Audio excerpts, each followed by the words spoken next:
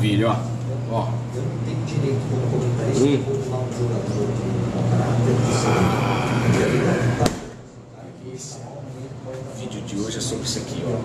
Então minha crítica sempre foi. Black High IPA. Tenho sim a Uma IPA obrigação com escura. vocês, Do centeio para dar uma picância. mas eu não tenho direito de Aromática. um atleta. Então isso procuro fazer. Ó, estamos aqui, como vocês viram, uma Black IPA, uma cerveja deliciosamente lupulada, aromática.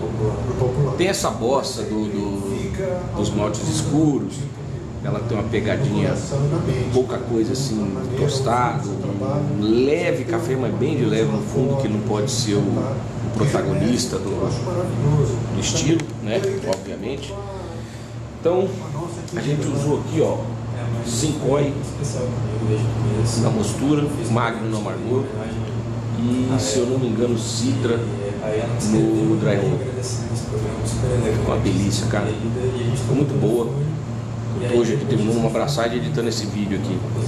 Eu já tomei acho que uns 3 litros dessa porra. Tá um calor do inferno aqui, cara. É. E é isso, cara. Cerveja pra tomar no calor. Muito refrescante. Hum. a rampa do vosso violão. A espuma ficou bem persistente, bonita, meio creme, gostosa, ficou muito bacana. Tem um tanto no barril ali, já tá acabando o barrilzinho. Tem umas no, umas garrafas aí.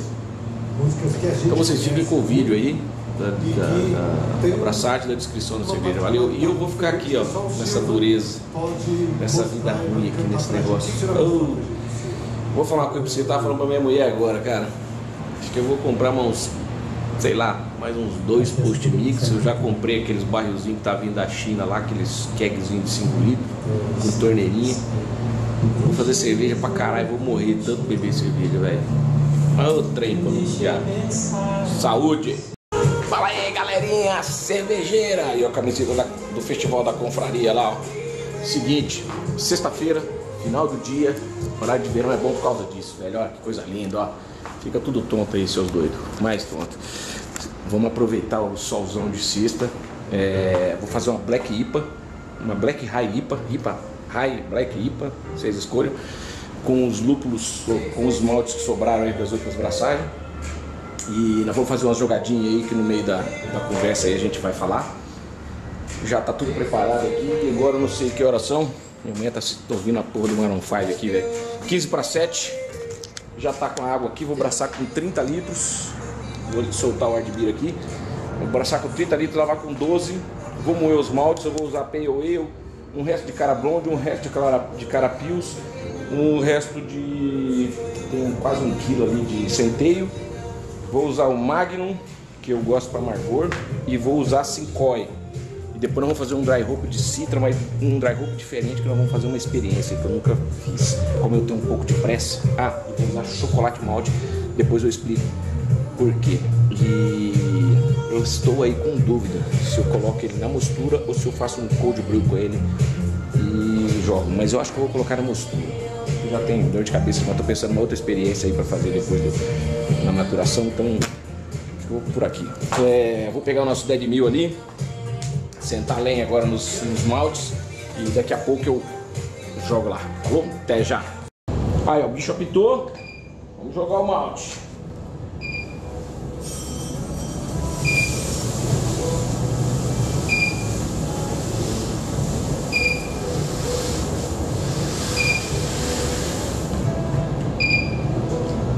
Aqui tá o cara blonde, o cara pios, o pale ale e o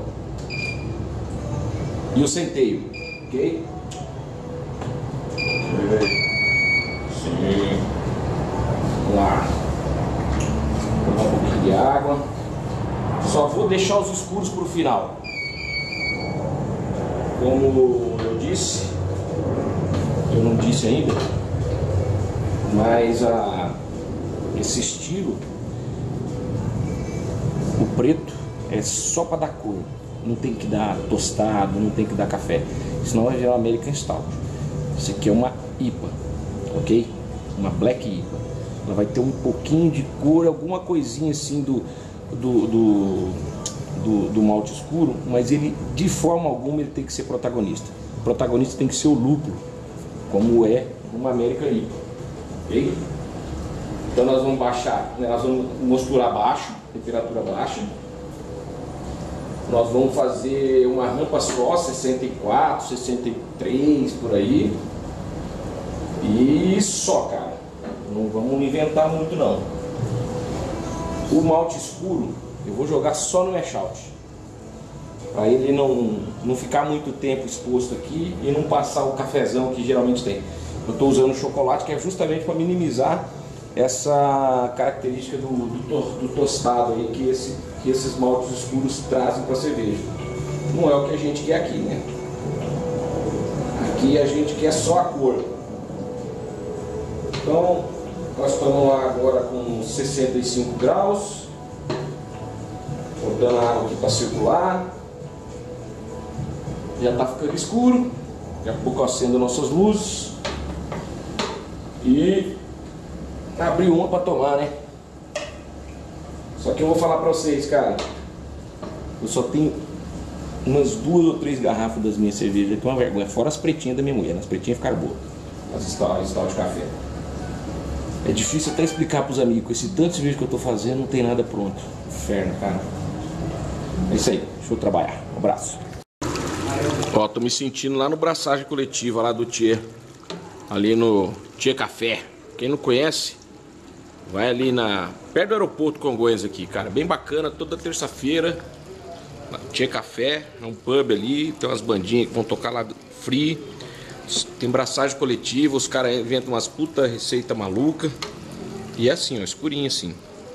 E na quarta-feira, toma cerveja que fez uns tempo atrás, entendeu? Deles lá mesmo, essa cerveja que a gente braça lá.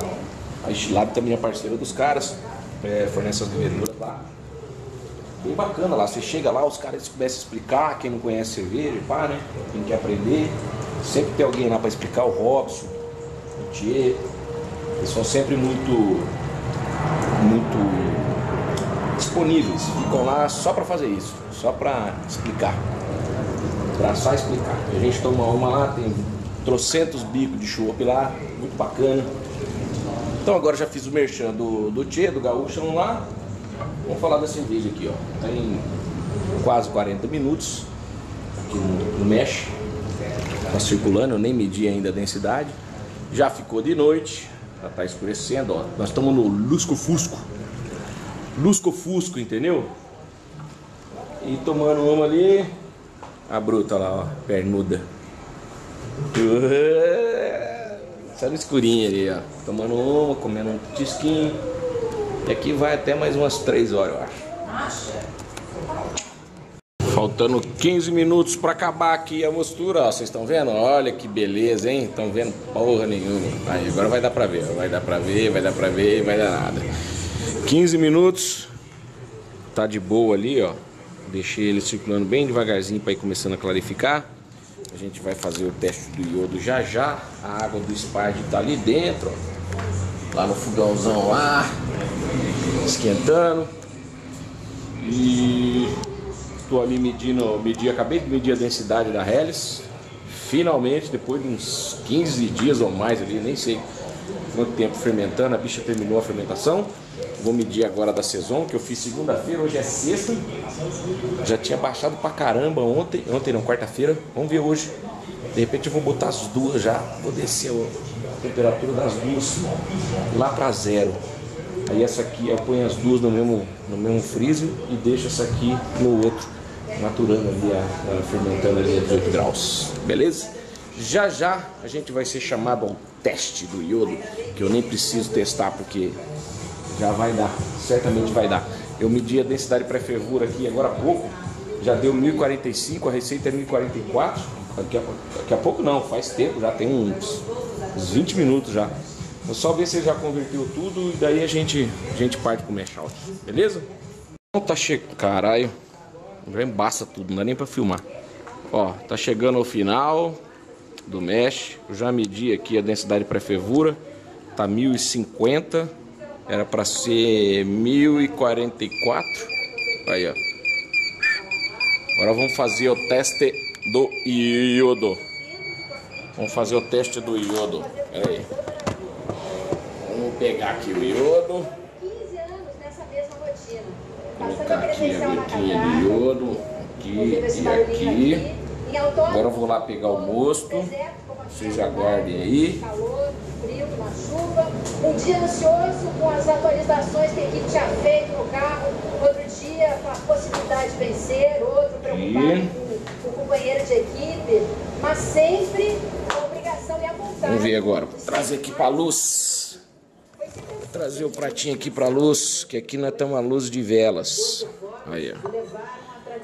Esse da esquerda é que tá com quase ser campeão do mundo em 2008. o malte. Já Elvis. Paixão pela Tem diferença nenhuma, né? que Converteu todos os amigos? Então agora nós vamos fazer o seguinte, ó. Foram 269 grandes Chocolate malte. 11 vitórias representando o Brasil e a escuderia mais popular da Fórmula 1. Vamos jogar. Nossa, que cheiro delicioso, velho. 16 Vamos jogar essa criança aqui. Despejar tudo aqui dentro.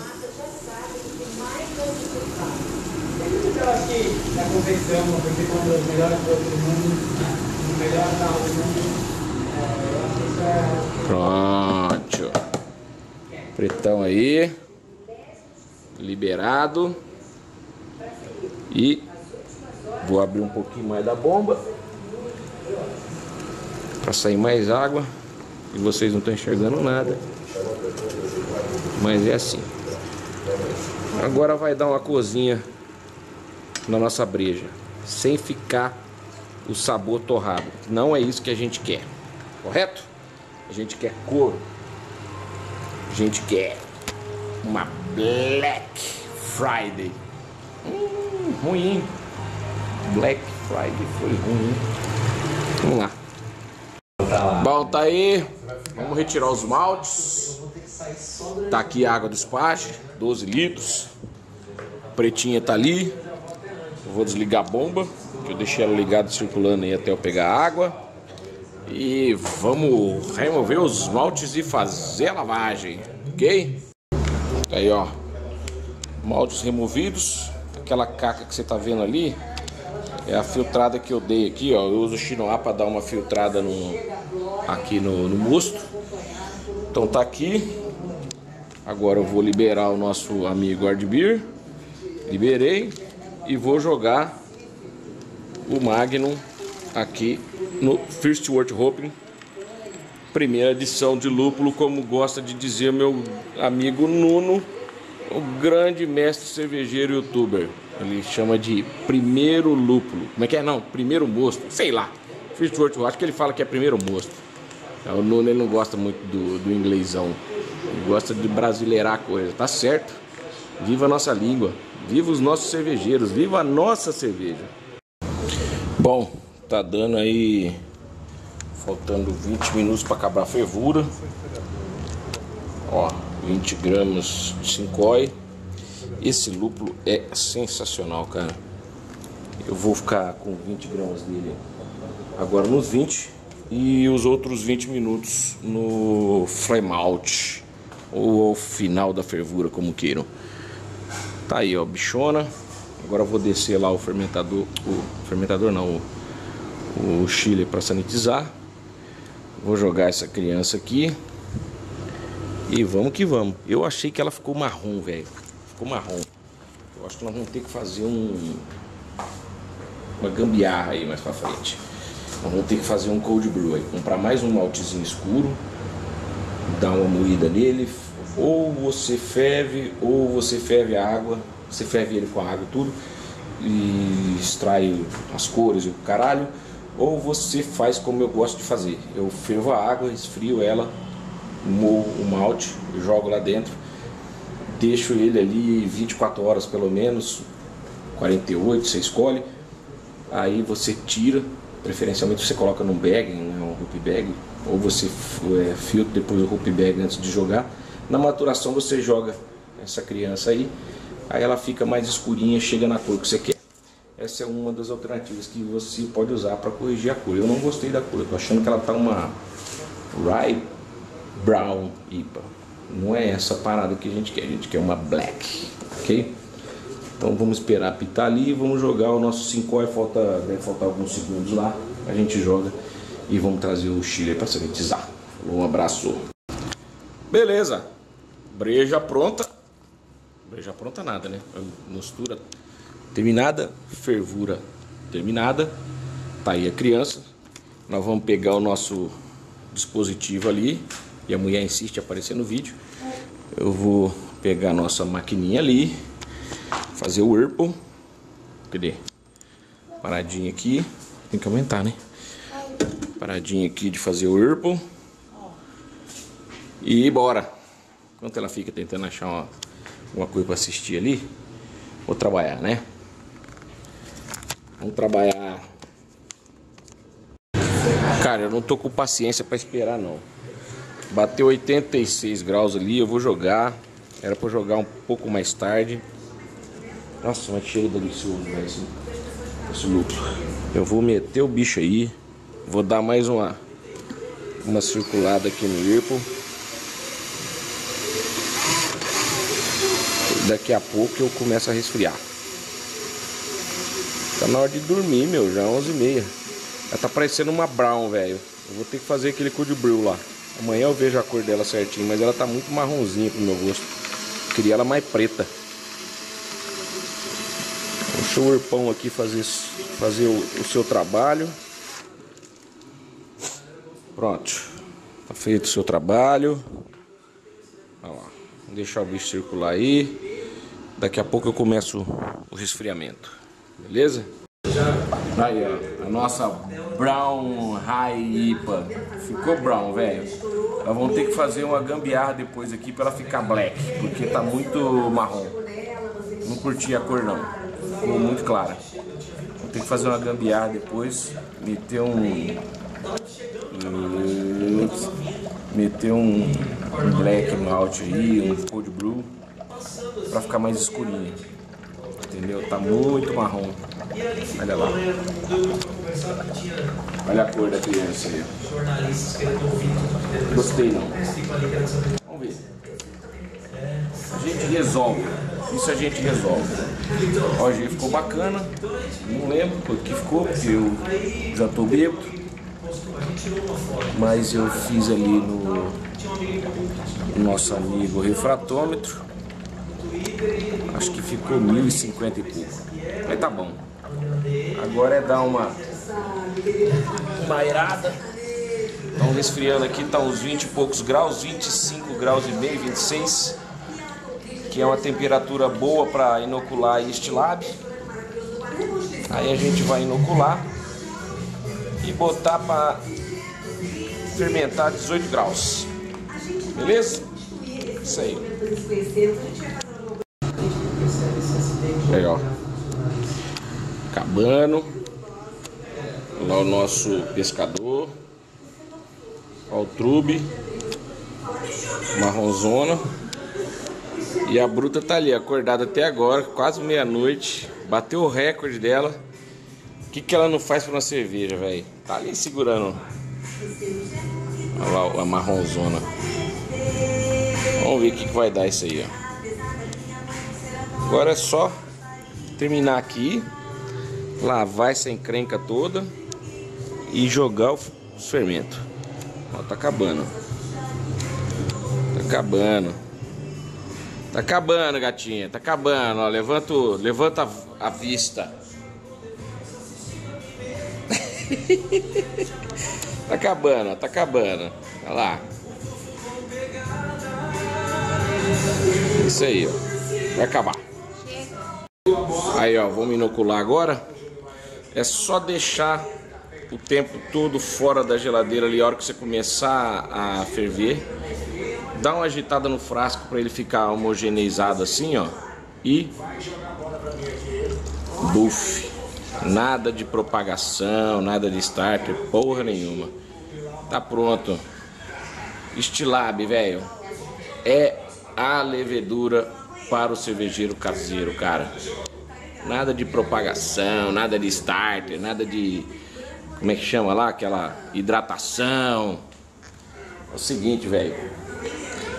Abre o frasquinho. Ó, abre o frasquinho e joga lá dentro. 200 milhões de células. Tá tranquilo. Ó, YLB 1000. Muito versátil. Uma das mais vendidas. Isso aqui substitui lá.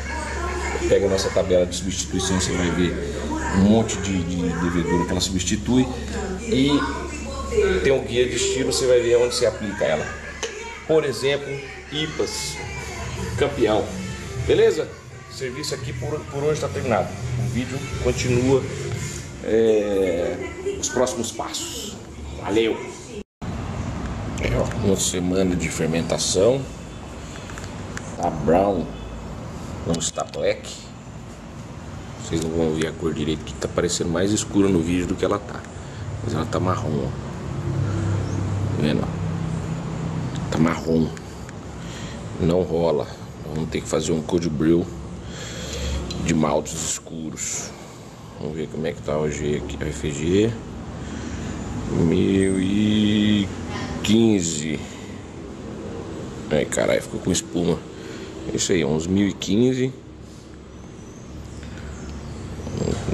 Aqui, é... 1015. Depois eu vou ver lá na receita qual que é a FG que eu espero. E aí a gente testa. Agora vamos ver o seguinte. O que tem aqui?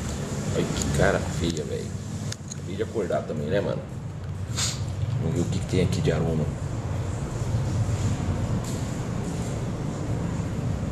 Hum,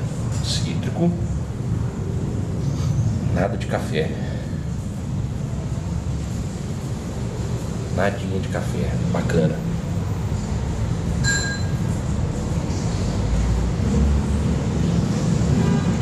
Nada dos baldes torrados. Beleza. É isso aí. Vamos corrigir só a cor. Fazer um dry look. Já era. Ó. Então, como vocês viram, a cor não ficou bacana. Então, eu fui lá na loja. Comprei mais 300 gramas de chocolate malte, EBC 8, é, 950. Coloquei ali 3 litros d'água para esquentar, é, para ferver. Vou ferver a água. Depois eu vou esfriar. Vou moer agora esses 300 gramas de malte. Vou jogar aqui dentro. Moer. Tá vendo lá? Liga o moador. Ó. é lógico que não, né? Vou moer. Vou esfriar a água lá. Vou colocar dentro do do vasilhame como esse aqui, uns 3 litros. Deixar gelado uns dois ou três dias até pegar bem a cor. E aí a gente passa por um bag, joga direto da maturação. Maturação porque ele já vai estar maturando. É, eu deixei lá setado para 20 graus para subir um pouco a temperatura, mas aqui está meio fresquinho em São Paulo, então acabei de desligar o, a geladeira e tirei o balde para fora da geladeira, vamos ver se ele sobe. E amanhã cedo ou amanhã à tarde, durante a abraçagem que eu vou fazer amanhã, eu vou transferir ela para maturação. Então daí, é, daqui uns dois ou três dias eu jogo essa criança lá para dar uma, uma melhorada na cor, tá bom? Vamos moer agora, depois eu mostro o bicho pronto. Bom, vamos colocar agora. Moer o malte. Deixei moidinho. Vou colocar agora essa encrenca aqui dentro. A água já está gelada. Gelada não, tá fresca. Tá morna quase, praticamente.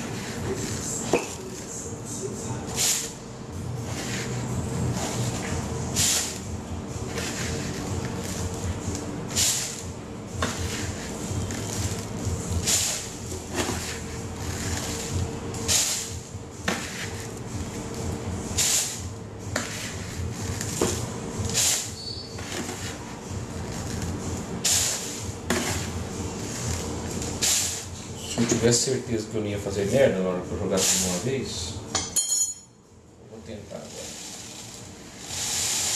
Liberar um pouco. Responde mãe, pelo amor de Deus. Aí. 300 gramas.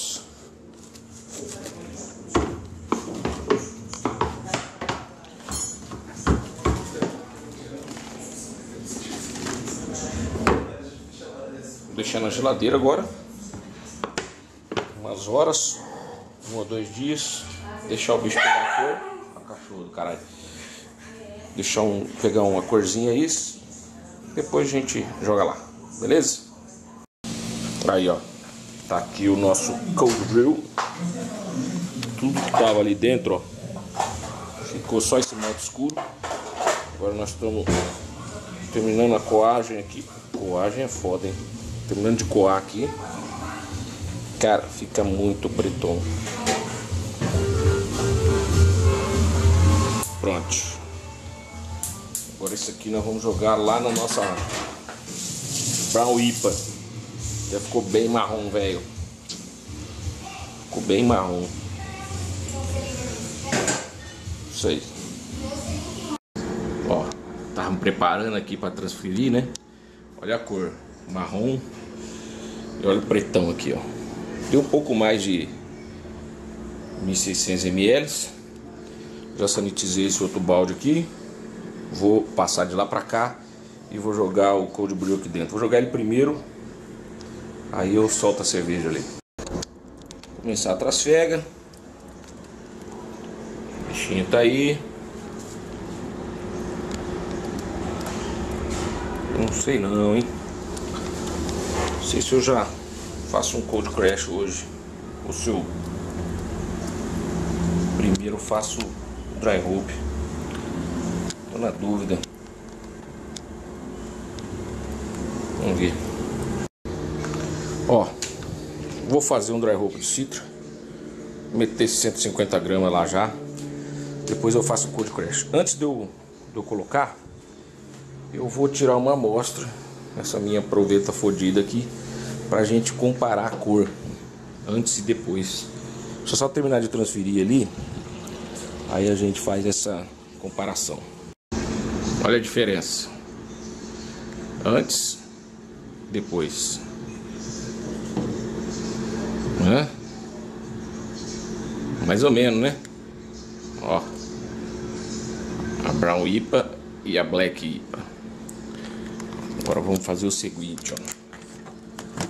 Ver se tem alguma diferença no perfil de aroma. Um pouquinho só de torrado. Esse aqui tem um pouquinho mais.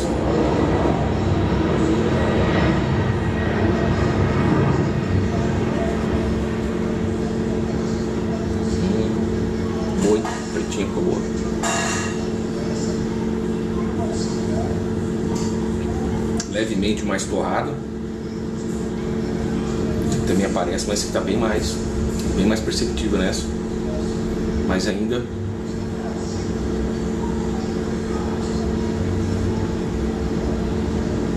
ainda uma Black IPA. Agora vamos fazer o seguinte. Vamos colocar um pouquinho de aroma nesse trem, né? Vamos colocar esse troço aqui. São 150 gramas.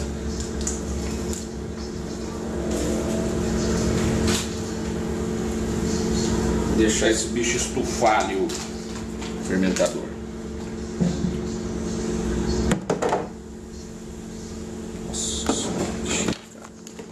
Esse lúpulo é duca. Esse lúpulo é duca. Vamos lá agora.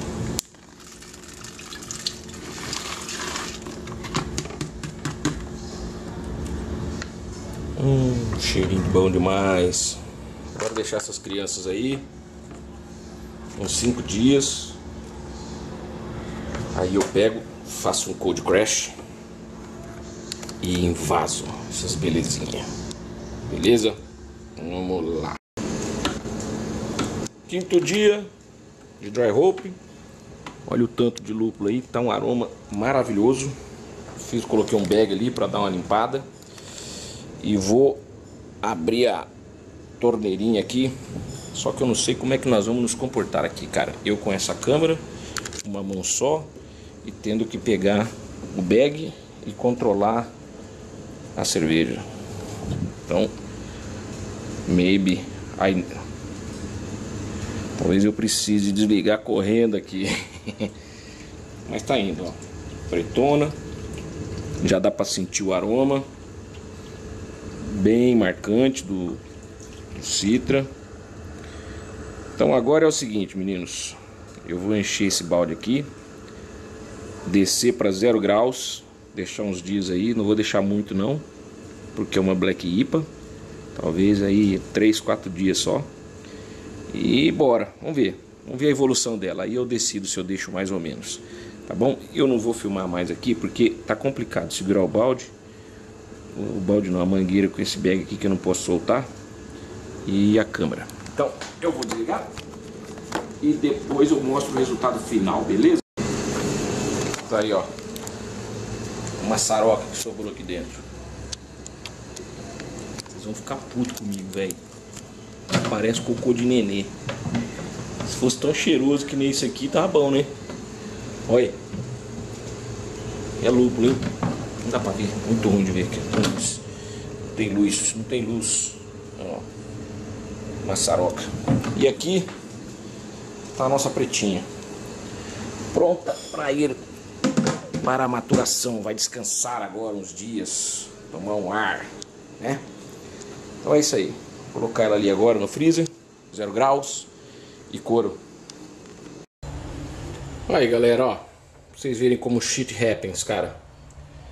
Congelou minha Double IPA. Oh, minha Black IPA, que tá parecendo uma Brown IPA. Tá marrom, né, cara? Mas ela congelou, velho. Quer ver, ó? Vamos ver, ó. ó. Dá pra vocês escutar a batida no gelo, ó. Eu ia fazer agora a trasfega pro baldinho. Eu vou ter que atrasar uns minutos aí. Vou deixar ela aqui tomando ar. Vou fechar aqui para dar uma, uma melhorada aqui no, no ambiente. Mas eu vou ter que esperar um pouco. Congelou essa piroca. Pô, tava zero grau aqui, essa merda desse, desse freezer, ó. Esse freezer que ninguém acha assim que não dá pra usar, ó. Tortei tudo os coisas, ele pegou e congelou, velho. Não deu chance. Tô ali tudo prontinho. Com barrilzinho, lá embaixo dizia as garrafas. É, meu irmão. Como sempre, shit happens. Bom, já descongelou aqueles cristalzinhos, deu uma leve homogeneizada ali no, no na breja, para que não fique áreas com muito gosto concentrado e outras com gosto diluído. Então deu uma leve girada assim com uma, uma colher para ele homogeneizar. E agora vamos torcer para tudo dar certo. O que sobrar?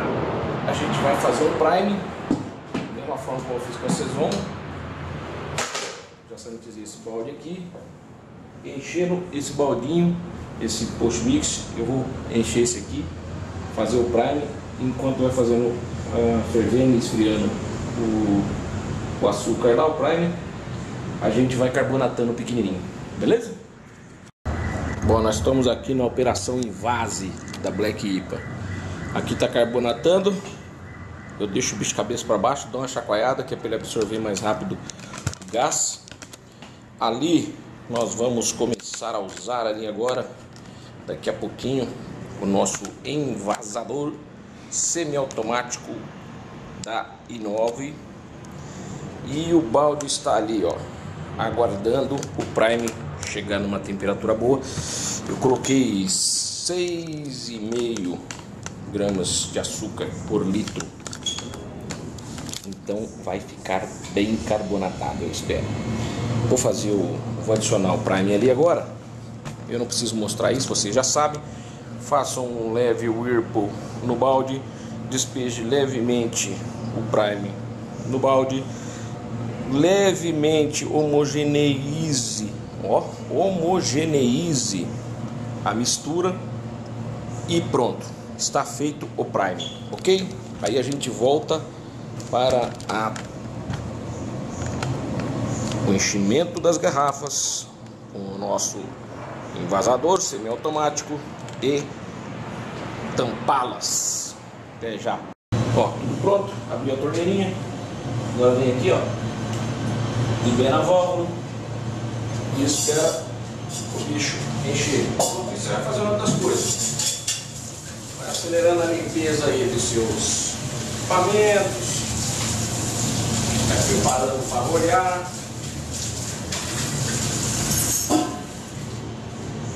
A hora que ficar, que ficar pronto, ele desarma e você parte para outra. Vamos ver. Vai desarmar. Vai desarmar. Opa, desarmou. Então agora gente pega. Troca de garrafa.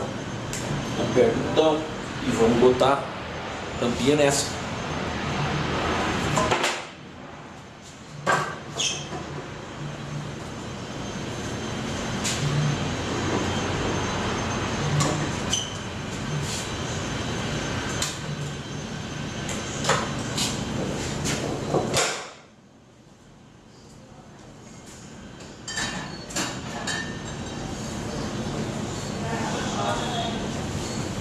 Acho que desarmou aqui eu nem vi, hein? É, não desarmei na hora certa.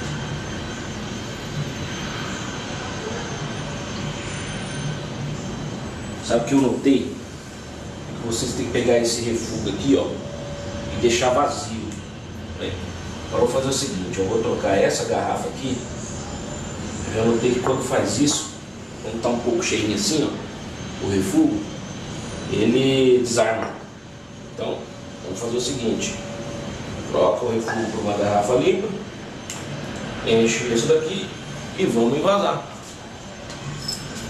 E assim faz.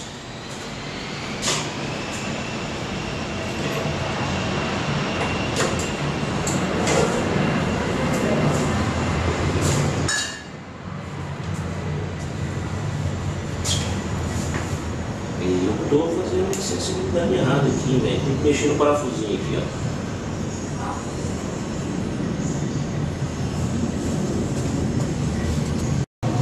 Olha, ó. Vou usar o nosso envasador agora, ó. Aperta o bicho aqui. Enquanto ele enche, você vai fazendo outra coisa. Aqui fica o refúgio. Se der alguma merda, vem aqui pra dentro. Garrafa. Aqui, ó. Tá vendo? Não preciso ficar segurando aquela diabo daquela varetinha. Posso ficar fazendo outras coisas. Desarmou. Eu venho aqui, troco de garrafa, aperto o botão, deixo ele enchendo aí e vou arrolhar essa daqui. Olha a praticidade.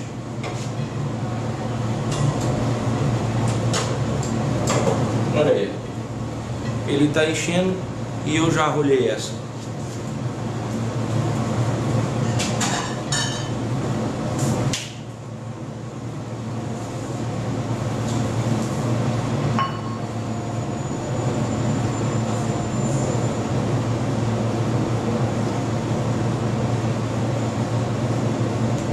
Terminou. Agora eu vou fazer o seguinte, ó, o refúgio tá pegando um pouco da, da cerveja que tá caindo aqui, né? Que ele vem lá do, do, do equipamento ali. Então, agora eu vou pegar, vou pegar essa garrafa aqui, vou encher ela e vou colocar outro refúgio aqui. Acho que isso aqui ajuda, porque de vez em quando ela, ela atrapalha aqui, esse, esse refúgio acaba atrapalhando aqui. Sei lá se atrapalha, ou é impressão minha. Mas eu resolvi fazer assim, tem que encher também essa garrafa. Então enquanto isso, vou agora arrolhar essa outra aqui. E assim o processo continua, meus amigos. Muito mais prático, muito menos dor de cabeça. Seu envasador semi-automático da Inove. Beleza? Você encontra aqui no canal.